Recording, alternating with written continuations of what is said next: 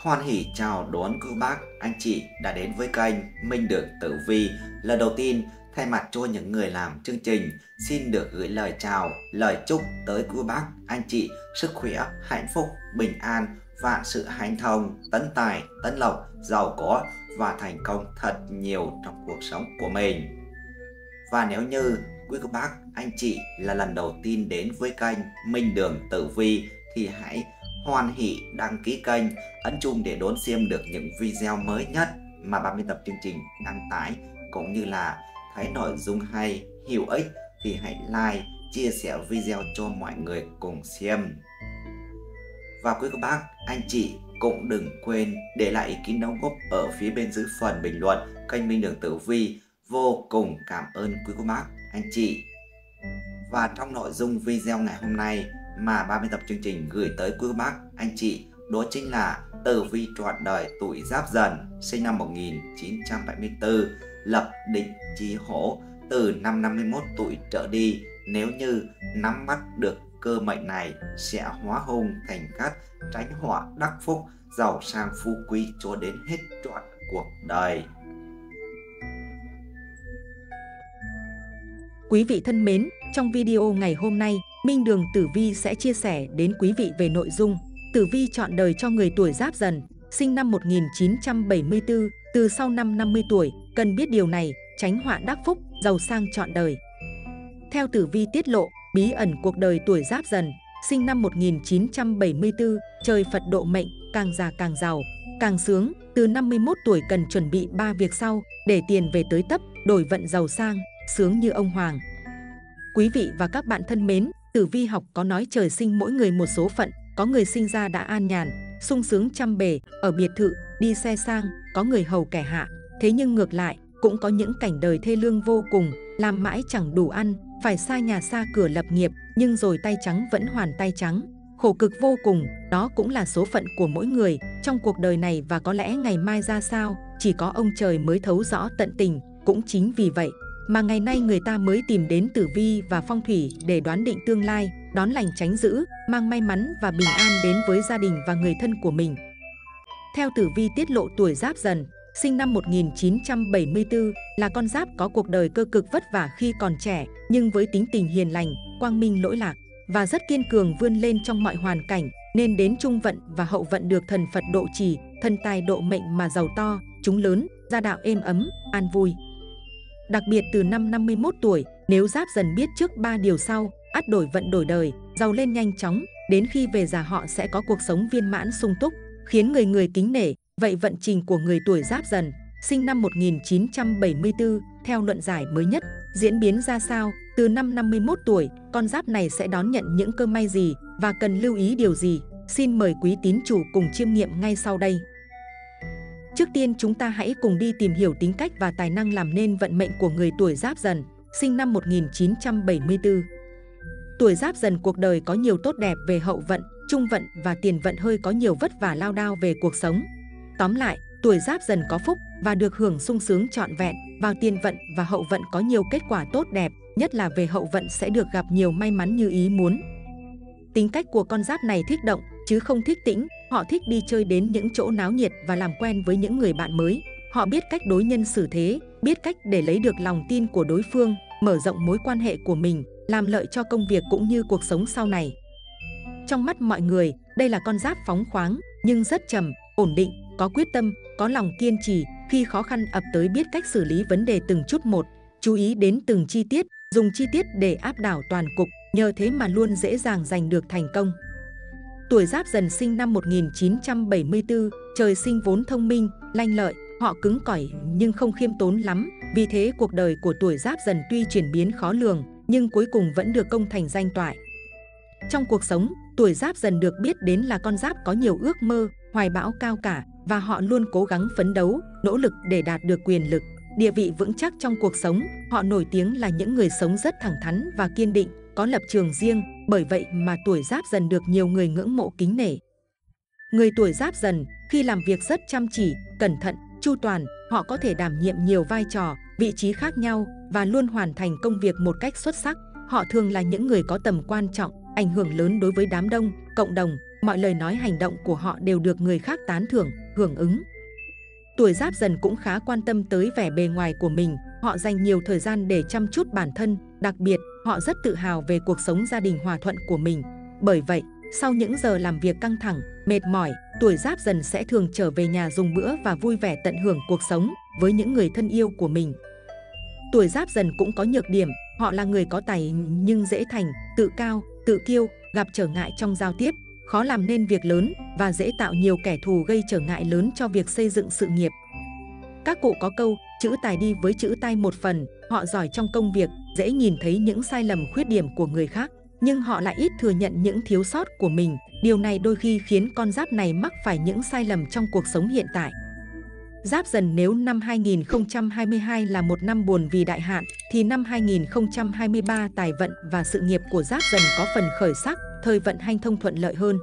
Nếu tiền vận theo giờ sinh là tốt, thì sẽ càng bùng nổ rực rỡ trong năm nay, năm Quý Mão 2023, nhưng do tuổi dần gặp xung khắc với ngũ hành lưu niên, may được nhiều các tinh hỗ trợ, dù vậy bản mệnh cũng phải vượt qua nhiều thách thức để có cơ hội bứt phá đạt thành tựu đáng kể trong cuộc sống. Dù trong năm không có tài tinh soi chiếu, song tình hình tài chính của tuổi dần không đến mức đáng ngại, vẫn có cơ hội kiếm tiền nếu thực sự kiên trì và tỉnh táo. Với người làm công ăn lương, thu nhập ở mức đảm bảo, chỉ cần bạn chăm chỉ sẽ không lo thiếu ăn, thiếu mặc. Nếu quản lý chi tiêu hợp lý, bạn vẫn có số tiền tích lũy đáng kể. Người làm kinh doanh cũng có công việc suôn sẻ, lợi nhuận thu về đều, tuy nhiên nên cẩn trọng trước những ý tưởng táo bạo. Bước đi liều lĩnh, thời điểm này chưa thích hợp để mở rộng làm ăn hay đầu tư mới, đặc biệt những hạng mục kinh doanh có tính rủi ro cao. Từ năm 51 tuổi đổ đi công việc giáp dần mới được thực sự suôn sẻ, thuận lợi như ý muốn. Giáp dần nên tận dụng khoảng thời gian này để phát triển sự nghiệp, khẳng định bản thân.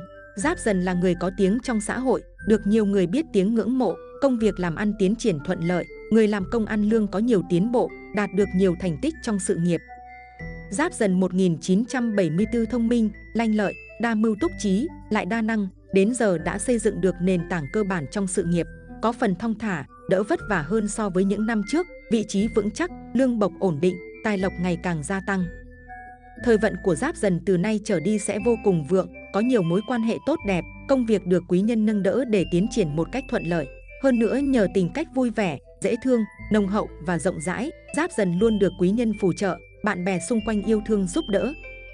Theo tử vi chọn đời tuổi Giáp Dần, từ 51 tuổi trở đi, con giáp này sẽ may mắn liên tiếp nhận lộc trời ban, công việc suôn sẻ, thuận lợi, sự nghiệp đi lên như diều gặp gió, dù làm trong lĩnh vực nào, họ cũng đạt được nhiều vị trí quan trọng, được mọi người tin tưởng, yêu quý.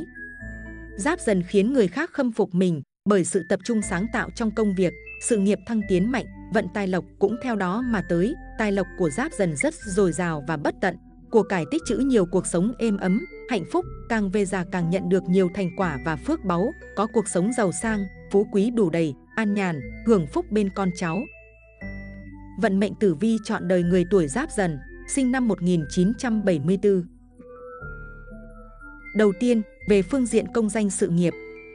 Người tuổi giáp dần có dã tâm và tham vọng rất lớn, luôn chú tâm gây dựng sự nghiệp. Họ đặc biệt không chấp nhận mọi chuyện tiến triển quá muộn, cũng không hài lòng với những nghề quá ổn định, không có nhiều thay đổi. Những thách thức vừa phải sẽ khiến họ có động lực đi đến thành công.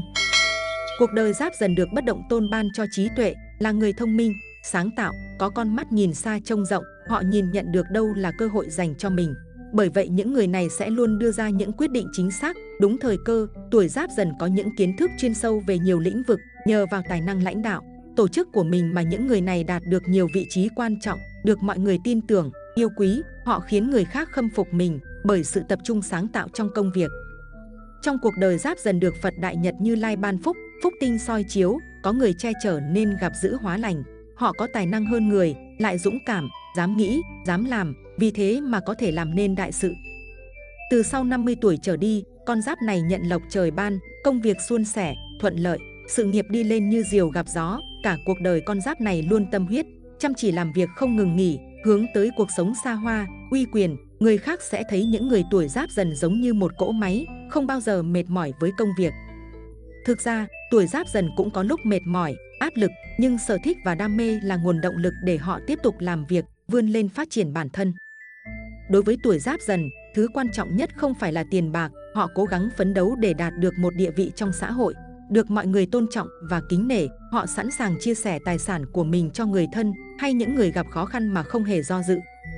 Xem tử vi tuổi giáp dần thường xuyên, ta có thể dễ dàng thấy được một điều quan trọng nữa mà tuổi giáp dần cần quan tâm là cách họ phản ứng và hậu quả của sự nóng này.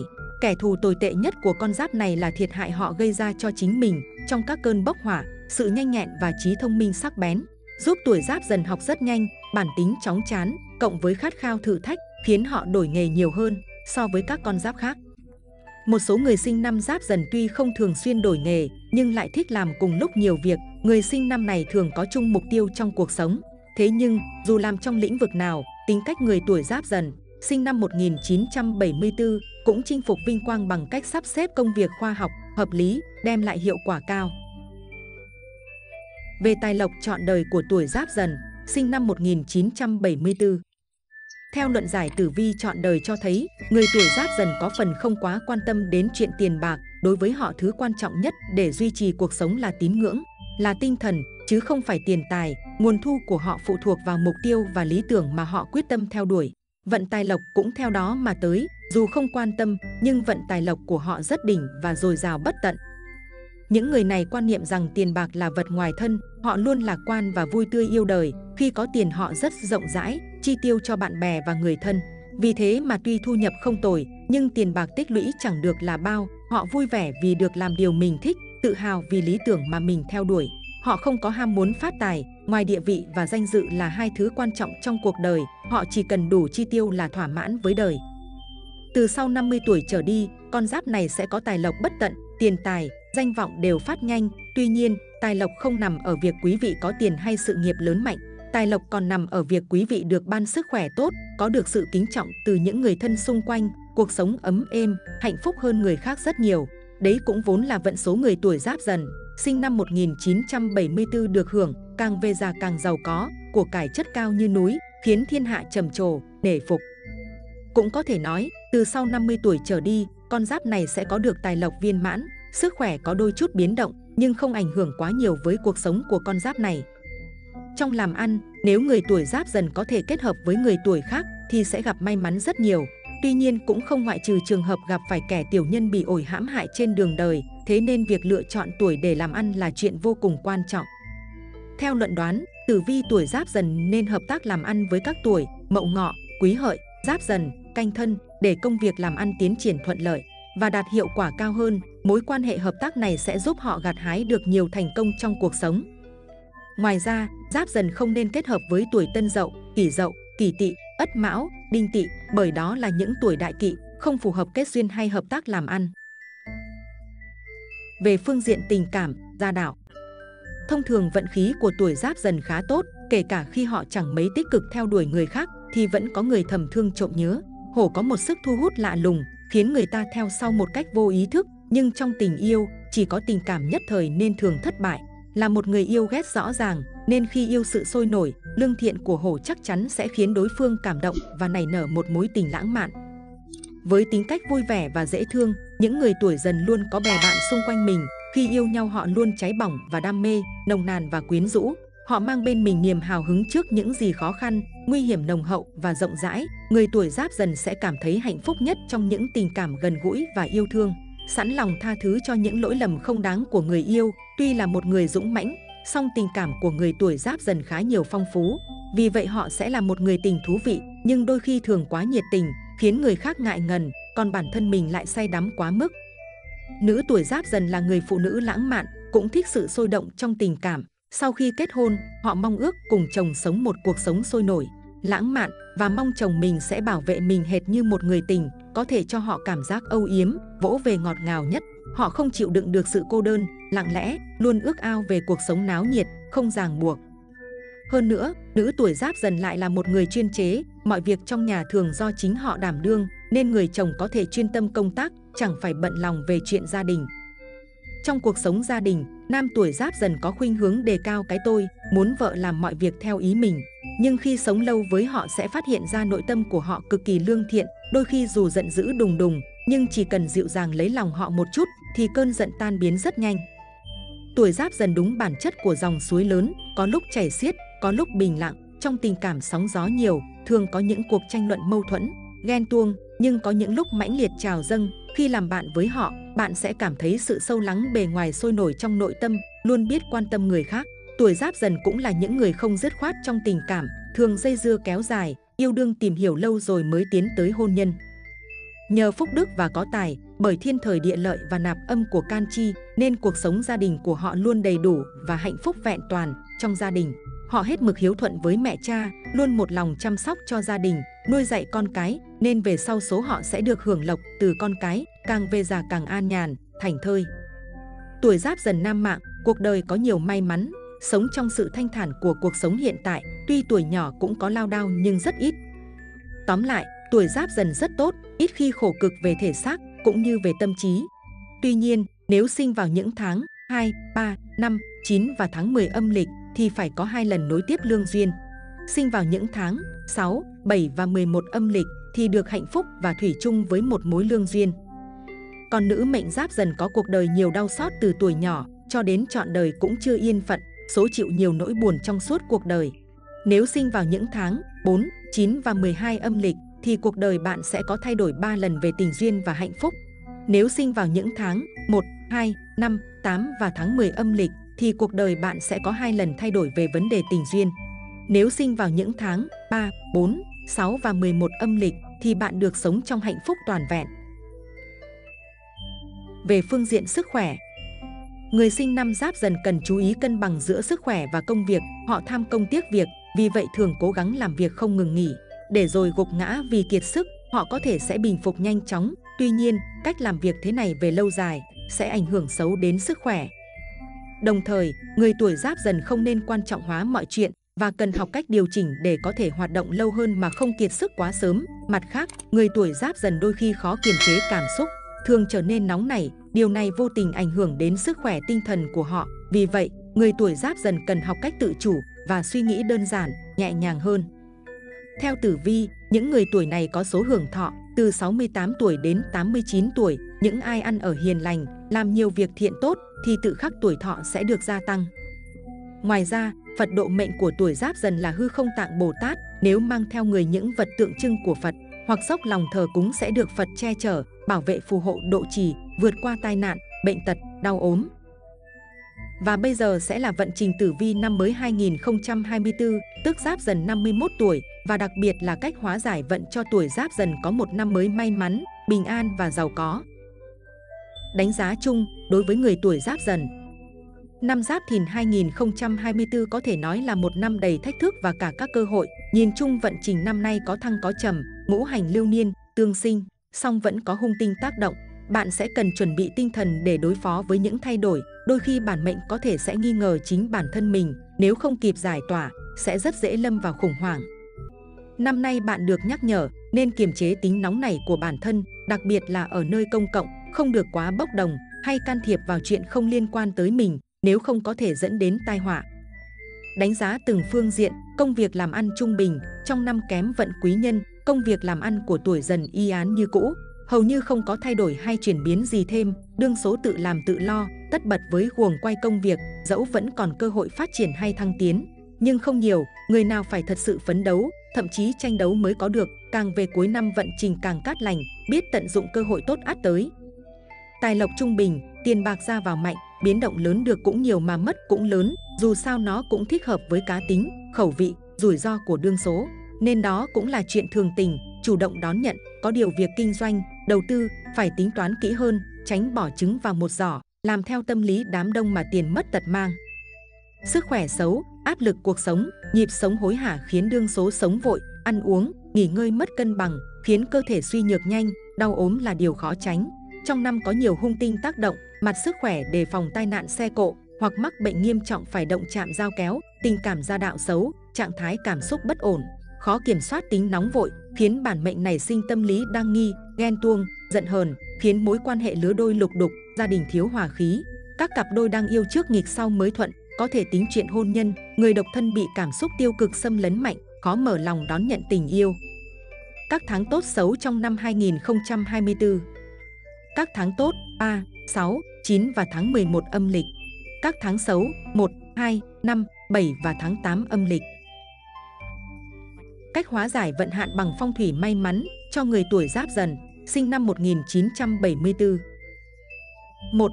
Chọn tuổi hợp với Giáp Dần, sinh năm 1974. Tử vi chọn đời tuổi Giáp, Dần hợp với tuổi Ngọ, tuổi Tuất, tuổi Hợi và tuổi Dần, Đại Cát, Đại Lợi, Vạn Sự Thông. Không nên làm ăn hay kết bạn với tuổi Tỵ, tuổi Thân, bằng không sẽ ưu sầu liên miên phá tài, phá vận, tổn thương cô đơn. 2.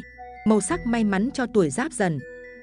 Tuổi Giáp Dần sinh năm 1974, thuộc mệnh Thủy, nên bản mệnh nên chọn sử dụng những đồ dùng trong cuộc sống có màu sắc tương sinh hoặc tương hợp với mệnh của mình để gặp nhiều may mắn, tài lộc suôn sẻ, dư giả. Màu tương sinh, tím, trắng, xám, bạc. Màu bản mệnh, thủy, xanh nước biển, đen.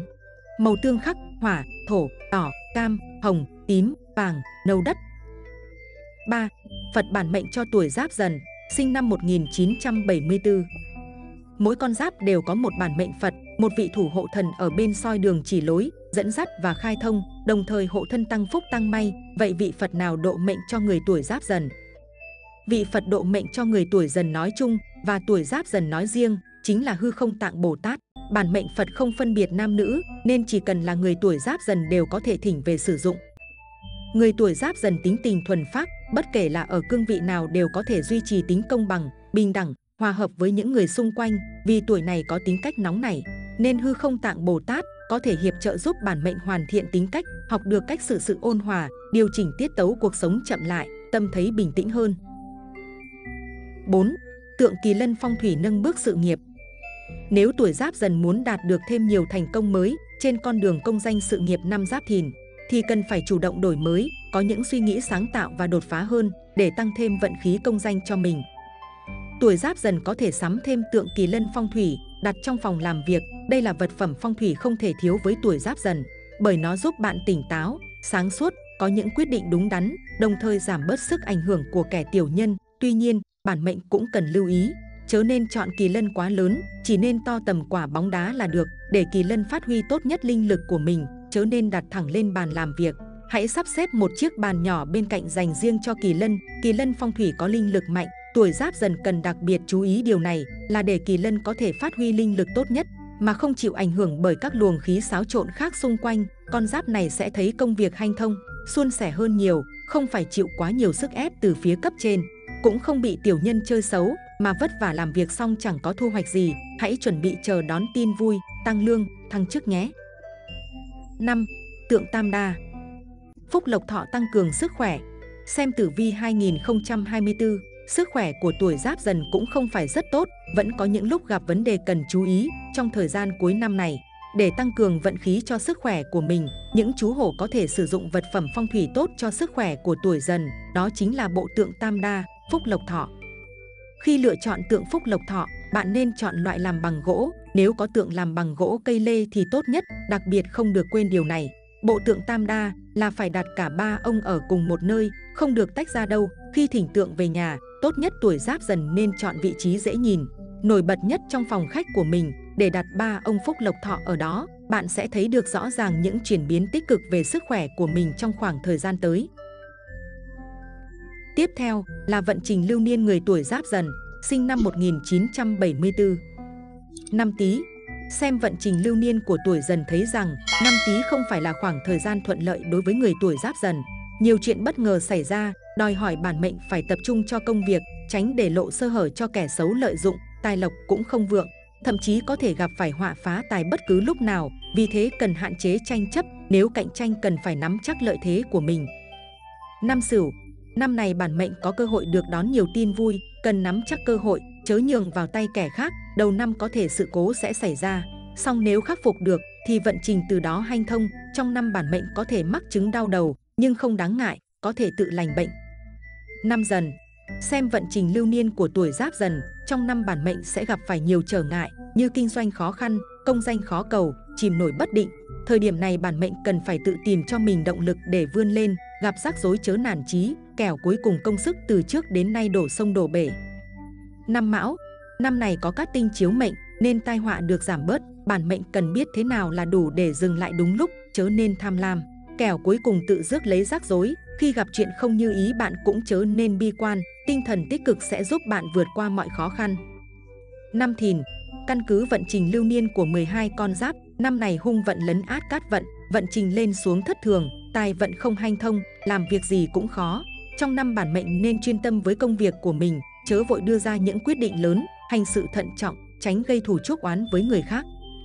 Năm Tỵ, vận trình của người tuổi Giáp dần chưa thể ổn định trong năm này, tuy bạn là người có tài năng, có năng lực, nhưng chưa chắc đã gặp được cơ hội để thể hiện năng lực của mình trong quá trình làm ăn, cần tìm hiểu kỹ đối tác để tránh vướng phải rắc rối về sau.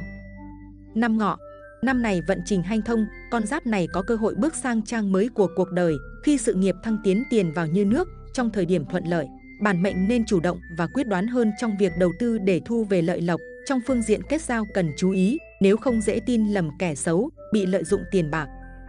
Năm mùi, năm này tài lộc có thất thoát nhưng không đáng ngại, bệnh tật tuy có nhưng là bệnh vặt, chỉ cần chú ý giữ gìn thì sẽ tự khỏi. Thời điểm này nếu chủ động bôn ba, cả tình duyên và sự nghiệp đều có bước phát triển tích cực, hãy chú trọng phát triển các mối quan hệ xã giao, thêm bạn bớt thù như vậy thì sẽ dễ được quý nhân nâng đỡ. Năm thân, Người tuổi giáp dần cần xác định tinh thần đối diện với nhiều khó khăn trong năm này. Đầu năm, do có họa tiểu nhân rình rập nên bản mệnh làm gì cũng cần cẩn thận. Giữa năm, nhiều sự cố xảy ra khiến bản mệnh phải bôn ba vất vả. Cuối năm, tuy tài lộc có khởi sắc nhưng bản mệnh cũng phải lao lực, cố gắng nhiều. Năm dậu, xem vận trình lưu niên của tuổi giáp dần, năm dậu có các tinh tử vi soi chiếu, bản mệnh hành sự hanh thông, cả sự nghiệp và tài lộc đều có bước phát triển đáng kinh ngạc. Tuy nhiên, con giáp này chớ nên lơ là hoặc kiêu ngạo, kẻo kẻ xấu có thể nhân cơ hội hãm hại bất cứ lúc nào, khiến thành tích bấy lâu nay thành công cốc. Năm Tuất Người tuổi giáp dần sẽ gặp được nhiều điều như ý muốn trong năm Tuất, nếu tích cực ra ngoài không ngại vất vả thì ắt kiếm được tiền bạc và công danh. Tuy nhiên bản mệnh cần chú ý giữ gìn sức khỏe, không nên cố gắng quá sức, khi ra ngoài cần tránh vướng chuyện thị phi, khiêm tốn học hỏi mọi người xung quanh thì sẽ được hưởng lợi. Năm Hợi Vận trình năm hợi không mấy tốt đẹp, bản mệnh cần tỉnh táo để đưa ra những quyết định quan trọng, không nên nóng nảy, hành xử theo cảm xúc nhất thời. Việc cầu tài, cầu phúc cần hết sức thận trọng, không nên chạy theo xu thế thị trường, chú ý phát triển thế mạnh của mình. Quý vị thân mến, Giáp dần ở tuổi ngoài tuổi 50 có 3 đại kỵ nên đề phòng để cả đời bình an, hạnh phúc. 1. Không nên bất chấp tất cả vì lợi ích, khi giáp dần ngoài tuổi 50, không còn là trẻ con bỡ ngỡ hay các thanh thiếu niên chưa va vấp trong xã hội nữa, giáp dần đã gặp nhiều kiểu người trong xã hội và tích lũy được kinh nghiệm sống nhất định, do đó cần phải biết điều gì nên làm và điều gì không nên làm. Lợi ích là điều mà ai cũng muốn theo đuổi, tuy nhiên nếu chỉ muốn thu lợi cho mình, bất chấp việc làm có thể tổn hại tới người khác, thì giáp dần có thể sẽ phải trả một cái giá đắt và chắc chắn phần đời còn lại của tín chủ sẽ không còn bình yên. 2 không chạm vào những thứ gây hại cho cơ thể và sức khỏe. Giáp dần ở tuổi sau 50 là độ tuổi hoàng kim, là thời kỳ thịnh vượng, nhất là với phái mạnh. Nhưng đồng thời đây cũng là giai đoạn dễ tích lũy nhiều mầm mống, bệnh tật nếu không lưu ý cẩn thận. Các chức năng của cơ thể sẽ ngày một suy giảm theo thời gian và sự lão hóa của tuổi tác. Ông chủ của mạng xã hội Facebook hay như nhà tỷ phú Bill Gates cũng ngủ đủ 7 tiếng một đêm để sức khỏe dẻo dai, tinh thần nhẹ bén, họ đều là những tỷ phú có khả năng kiếm được rất nhiều tiền trong vài giờ đồng hồ. Nhưng không bao giờ vì thế mà bỏ quên sức khỏe của mình, không biết cách tự chăm sóc sức khỏe của bản thân. Đồng nghĩa với sự vô trách nhiệm đối với gia đình của bạn, do đó hãy chăm tóc nền tảng gốc rễ của sinh mạng, bảo vệ tài sản quý giá nhất, đó chính là sức khỏe của giáp dần. 3. Tuyệt đối tránh xa những mối quan hệ ngoài hôn nhân. Giáp dần sau tuổi 50 nên có nền tảng gia đình ổn định để có thể tập trung và dồn sức phấn đấu xây dựng sự nghiệp.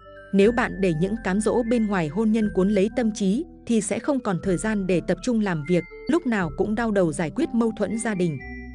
Đây cũng là giai đoạn mà Giáp dần nên xây dựng hình tượng và vị thế trong xã hội. Những nhân tố này không chỉ được tạo nên từ công danh, sự nghiệp, tài lộc, nhân phẩm và tư cách đạo đức của tín chủ sẽ ảnh hưởng rất lớn đến việc phát triển và hình thành nhân cách của con cái. Đừng để những sai lầm của mình mà con cái phải gánh chịu. Hãy dùng giai đoạn này để quyết định vận mệnh nửa đời còn lại của mình. Những giáp dần vội vàng tư lợi, rất dễ đánh mất bản thân, không chỉ là đường chệch hướng mà còn chuốc họa vào người. Ngược lại, xác định được con đường tương lai và ba điều đại kỵ nên tránh xa sẽ là nền tảng để giáp dần vững bước trên con đường phát triển bản thân. Vâng, Cảm ơn quý vị đã dành thời gian theo dõi và lắng nghe đến hết luận giải của Minh Đường Tử Vi. Trên đây là Tử Vi chọn đời cho người tuổi Giáp Dần, sinh năm 1974. Mong rằng những dự báo trên giúp quý vị thật nhiều niềm vui và thành công trong cuộc sống. Minh Đường Tử Vi xin chào tạm biệt và hẹn gặp lại quý vị trong những chương trình tiếp theo.